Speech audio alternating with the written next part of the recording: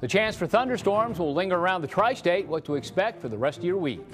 Plus, a major decision for the Cincinnati parking plan. Fox 19 has both sides of the battle. This was a long time coming. And a massive new development quickly moving forward. Your first look inside. Tonight at 6.30 on Fox 19. Balanced News.